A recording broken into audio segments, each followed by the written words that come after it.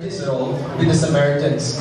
Just, just think of all the wondrous occurrences that happened when the Samaritan woman who went to draw water from a well came across Jesus. Just sit back and watch as the events unfold. Yes, do also join in singing the songs if you know them. Four believer boys are walking to church. They are on the way to Terry meeting. Two of them do not seem too happy about going. I have so much of homework to finish and I still have to go for daily meeting. If only my parents would simply understand the stress I'm facing. Don't say that, Kishan. You know, the Bible promises us that through Jesus we can do all things. We have to draw close to God and so as to get His help. We must repent of our sins, that is to stop complaining, and Jesus will help us, Ishan. Yes. Remember the song Nobody Else? It says, The Lord is able to change us. Nobody else. Nobody else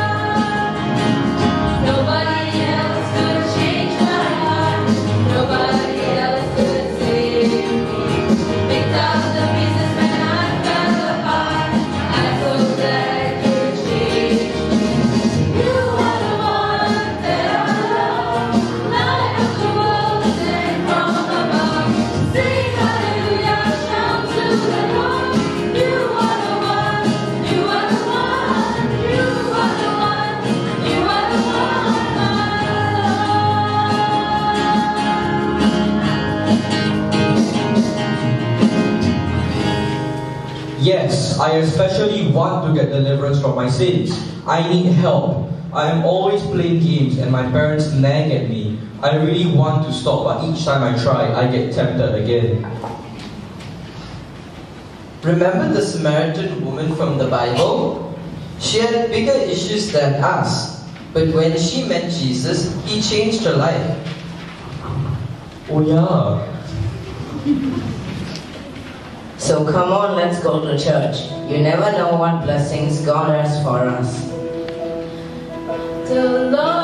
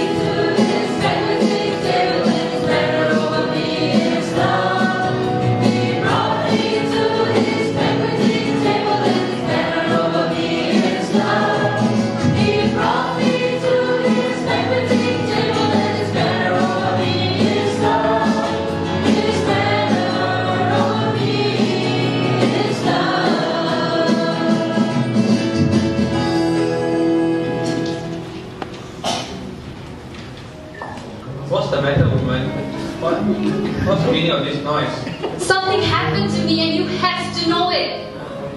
Well, go on.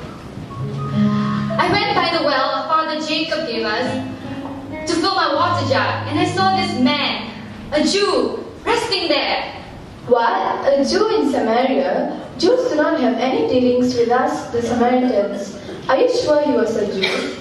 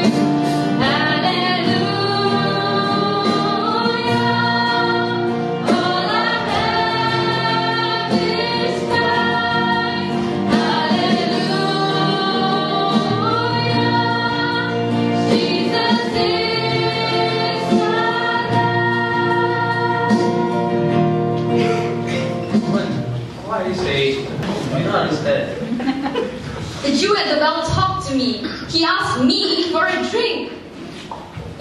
Really? He spoke to you, a Jewish man talking to a Samaritan woman. Well, I was surprised too. So I asked him, How is it that you, a Jew, are asking me, a woman of Samaria, for a drink?